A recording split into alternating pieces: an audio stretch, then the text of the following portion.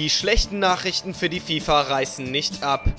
Das Ethikkomitee ermittelt gegen mehrere Mitglieder und Ex-Funktionäre. Die Liste ist lang. FIFA-Präsident Sepp Blatter, sein Generalsekretär Jerome Walk und UEFA-Präsident Michel Platini wurden bekanntermaßen bereits suspendiert. Aber auch Weltmeister Franz Beckenbauer und FIFA-Vizepräsident Angele Maria Villar werden auf einer von der FIFA selbst veröffentlichten Liste mit laufenden Korruptionsermittlungen genannt. Der Australier Jamie Fuller, Aktivist für eine Veränderung der FIFA, bleibt davon unbeeindruckt. Das Ethikkomitee ist sehr spät dran. Die vergangenen zwei Wochen haben sie endlich mal ihren Job gemacht. Aber das nur, weil sie durch Falk, Blatter und Platini im Rampenlicht stehen. Und jetzt reden sie von moralischen Erfolgen. Aber von Erfolg kann eigentlich keine Rede sein. Fuller selbst ist einer der bekanntesten öffentlichen Kritiker der FIFA und plädierte bereits für eine unabhängige Reform im Zuge der Korruptionsanschuldigungen.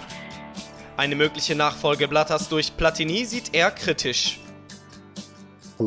Er ist politisch tot und öffentlich verunglimpft. Selbst die Franzosen wenden sich ab.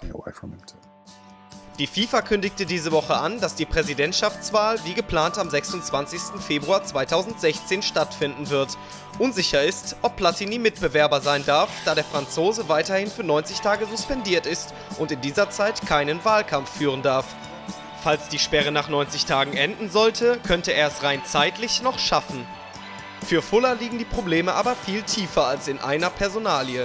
I think we have every right ich denke, wir haben nach all dem, was wir gesehen haben, das Recht, das Exekutivkomitee zu hinterfragen. Es wäre gefährlich zu behaupten, wir könnten uns momentan auf irgendwen verlassen.